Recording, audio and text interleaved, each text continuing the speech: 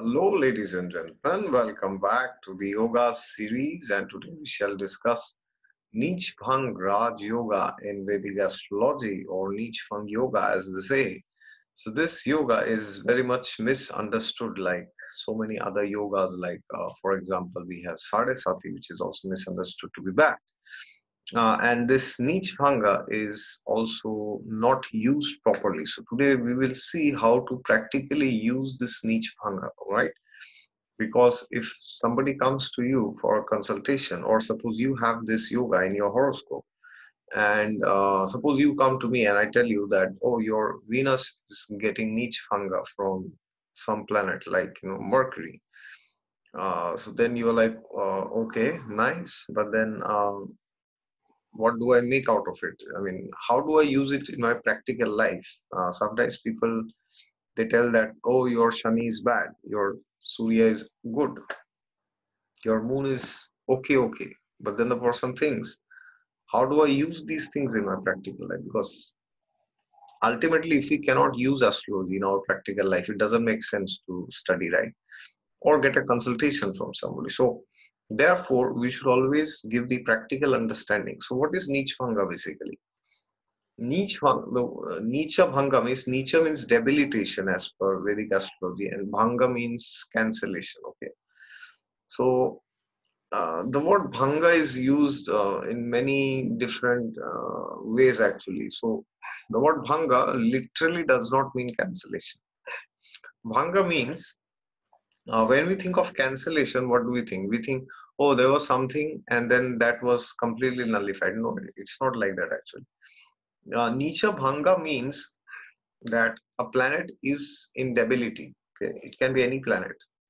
And then there is another planet which has come to help that planet, this debilitated planet. And that planet is helping this debilitated planet to, to uh, come out of the debility. Not that the debility gets cancelled. So it is it is like a person who is blind cannot see.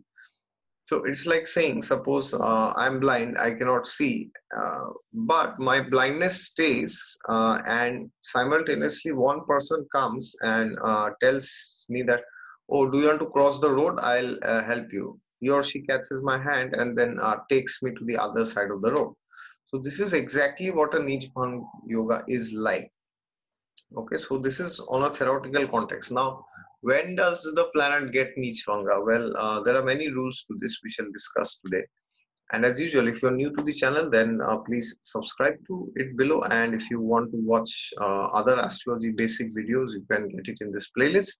And yes, if you want a consultation from me regarding your career or marriage, then please go to my website down in the description box. And yes, God is there with you all the time. Just look to Him and you will find Him. Okay, so so suppose let's take the example of uh, Mars. Suppose Mars is in debility. So where does Mars gets debilitated? And here, when we are saying debility, uh, let's ignore the degrees. Let's assume that a planet is debilitated in the entire uh, zodiac sign. Okay, let's assume like this although we need to check degrees when we talk of exaltation or debilitation okay but let's ignore the degrees for now because then it might get confusing for you. So mars gets debilitated in cancer. So you know that right? So whenever mars is in cancer it is in debility it is in nicha avastha. Uh, so now when will the planet get neech bhanga? Okay. So the first rule is if the dispositor of that sign where that planet gets debilitated is sitting with Mars or aspecting Mars, then this debility gets cancelled. So now suppose anybody has Moon Mars in Cancer, then Moon, who is the Lord of Cancer, is sitting with Mars, so the debility is cancelled. Or Moon aspects Cancer. Now moon only aspects the seventh house. So where does it have to go if it has to aspect cancer? Capricorn.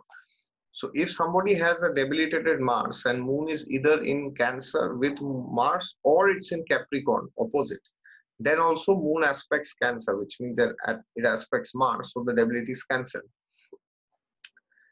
This is the beginning form of uh, this is like level uh, level level 2 i would say okay but a better cancellation of the debility happens when the planet which gets exalted in that sign sits with that planet or aspects that planet. So now, who gets exalted in Cancer? I'm not saying where Moon gets exalted. I'm saying in Cancer where Mars gets debilitated, which is the other planet which, get, which gets exalted. We know it is Jupiter. So now, if similarly Jupiter and Mars are sitting in Cancer, or Jupiter is sitting in Capricorn because Jupiter will aspect Cancer from Capricorn or Jupiter also has 5 9 aspect okay?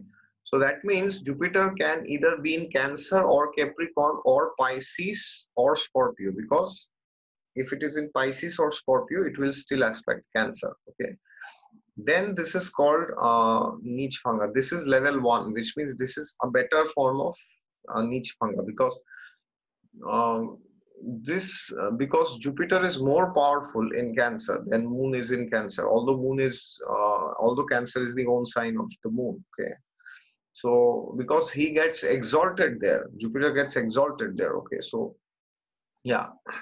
Now there are other rules. Uh, rule uh, level three cancellation and level four. So the first level, as I said, if the planet gets exalted, that planet is helping, or the planet which lords is helping. That is level two. Level three is uh, if the lord of that sign so in this case mars is in cancer so if moon is in uh, kendra from the ascendant okay which means if it is in first house fourth house seventh house or tenth house from the ascendant then this debility also gets mitigated to some extent and there is level 4 calculation uh, cancellation which is if this planet is in Kendra not from the ascendant but from the moon. Okay. So uh, let's take an example. Uh, if Jupiter is in deb debility, if Jupiter gets debilitated where in Capricorn. Now suppose you have uh, moon in the second house. Okay. And who is the lord of Capricorn? Where Jupiter gets debilitated? That is Saturn. Now suppose if Saturn is in the fifth house. Why i'm saying fifth house? Because from the second house the fifth house is the fourth house. It, it is a kendra actually. So then also this debility gets cancelled. Or if saturn is in the first fourth seventh tenth from the ascendant then also the rule number three applies there. Okay? So these are different levels of calculation or cancellation as i said or uh, this also applies to the planet uh, that gets exalted in that sign so for example as i said uh, if Mars is in Cancer and Jupiter is in uh, sixth house and Moon is in the uh, ninth house. Okay. Now Moon and Jupiter are in Kendra to each other. Then also this debility can get cancelled. But as I said, the uh, the highest form of cancellation, the best form of cancellation occurs when the exaltation sign planet is helping and it is um, it is aspecting that planet or it is with it. Okay uh, the other forms of cancellation also works, but I've seen uh, this is the best form actually. So now, uh, how will you use this practically? So uh, let's take the example of uh, Scorpio Lagna, for example. So Scorpio Lagna, which is the 11th house for Scorpio, it is Virgo, number six, okay. So now suppose uh, somebody has um, Mercury Venus in Virgo. For a Scorpio Lagna, if you have Mercury and Venus conjoined in the sign of Virgo in the 11th house. Okay. So now what is happening? Venus is getting debilitated because it is in Virgo. And because Virgo's Lord is Mercury, and the planet which gets exalted in Virgo is also Mercury, is with Venus, so the debility is getting cancelled. So, what does this mean? how will you tell the person if the person asks you if a client comes to you and asks okay my dear sir my venus is in debility but the debility is getting cancelled so should i laugh or should i cry or should i smile or should i jump or what should i do or should i just do nothing so you have to tell that person check which houses the debilitated planet rules first of all very important so which house is Venus Lords for Scorpio? Venus Lords the seventh house and the twelfth house because twelfth house is Libra, seventh house is Taurus. This planet is sitting in the 11th house of gains, but it is in debility. Now, this planet is getting a Neech Bhanga from which planet? From Mercury. Mercury is which lord? He's the lord of the 11th house because he lords Virgo also. Okay. Now, that means he also lords the 8th house because Gemini is also ruled by Mercury and he's the 8th lord also. So that means now the 7th lord and the 12th lord is getting Neech Bhanga from the 8th lord and the 11th lord. So let's try to understand this. So seventh lord getting Neech Bhanga from the eighth lord. So what does this mean? This means that whenever the marriage is in trouble, seventh lord can show the marriage or married life or focus in married life. Okay, or the event of wedding. These are the things which the seventh lord can show. When this is in trouble, um, then the eighth lord is giving a Neech Bhanga. Okay, so the eighth lord can show the in-laws. Okay, so somebody from the in-laws, Mercury as the eighth lord can show relatives from the side of the in-laws okay? Somebody who is younger to you or somebody who looks very young. Then his or her age. And they are helping you out in the marriage. So it is like your marriage is very bad maybe. But because of uh, these people your marriage is uh, getting help and your marriage has become better but here's the catch. You see mercury has two signs virgo and gemini. Out of them virgo is the higher octave of mercury. So he's the, it's the exaltation and mool trikon sign. So mercury is primarily the 11th lord then the 8th lord. He is also the 8th lord but he's all primarily the 11th lord. Okay. So 11th lord is the elder sibling so suppose you are married and your marriage is not working, or suppose you are not able to get married. Then the 11th house is your elder sibling. So if you have an elder brother or your elder sister, they can help you out to get married. They can suggest that, hey, I have this. Uh, so Mercury represents friends. So some friend of the younger brother or younger sister can suggest you a prospective match after which you can uh, decide if you want to marry or it can also happen that your friends can also help you because 11th lord mercury can show your own friends okay? So this is how and the 12th lord will also venus so suppose you go to foreign lands then it is recommended that you uh, get help from your elder siblings friend because they can help you. They can help you to come out of this debility. Debility means lack of confidence or doing things which you should not do. Okay so uh, if you feel that you are you are having to make some kind of a compromise then you should take guidance from the either the eighth lord or the 11th lord so this is how you have to analyze. So whenever a planet which is getting debility is getting cancellation from a particular planet always check which houses that planet which is giving this cancellation is ruling. So in this case venus is getting debilitated, but the cancellation is happening from Mercury, the eighth lord and the 11th lord. So, in laws and your elder sibling, they can help you. And the nature of the planet will tell you what kind of people they are. So, Mercury as the 11th lord can show your elder siblings' friends. Okay, if it is Jupiter, your elder siblings' guru or guide can help you so this is how you have to see actually, all right? Or if it is Venus, then your uh, elder sibling spouse can help you. So this is how you have to check actually, okay? So this is how you use Neech Bhanga, okay?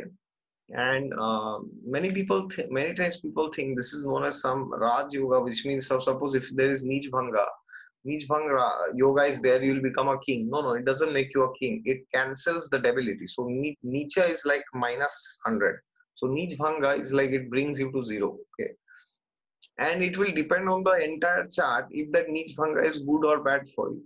Sometimes the Neech Bhanga is bad for you. Sometimes the Neech Bhanga is good. Okay. That will depend on where the flow of the horoscope is happening. So for that you have to analyze the entire chart. You cannot just say, oh, uh, this Neech Bhanga is happening. Uh, it's great actually. Okay. So what if that Neech Bhanga is bad for you?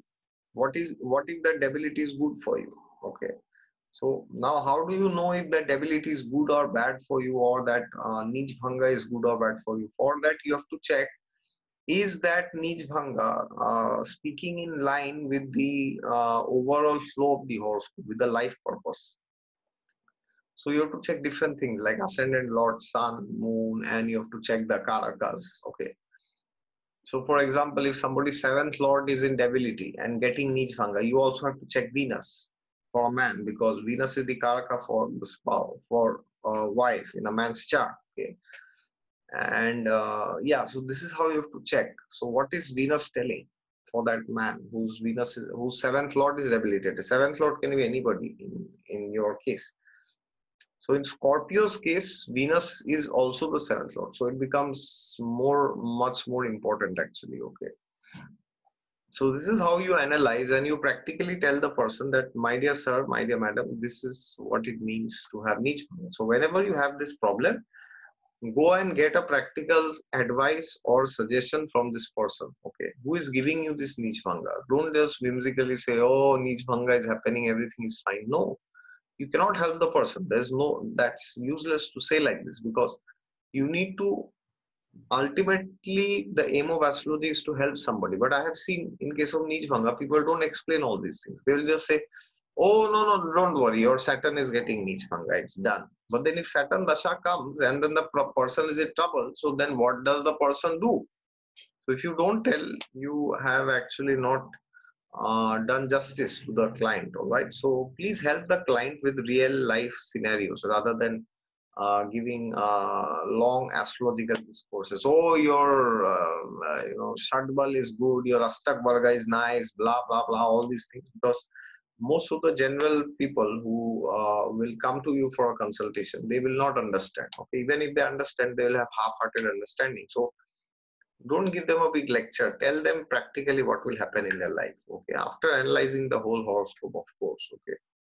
Because sometimes the person may be super duper excited oh my uh, this planet is getting neech bhanga. But then you may realize that this neech bhanga is not good for the person. Then you have to tell the person please be realistic. Don't jump.